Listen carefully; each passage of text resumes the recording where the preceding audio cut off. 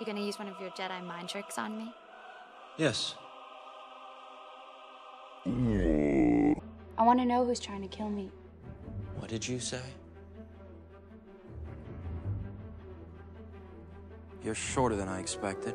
You're a funny little boy. I will be the most powerful Jedi ever. At last, we will reveal ourselves to the Jedi. Buzz droids. I do not like this idea of hiding. Ah, Mori Mori.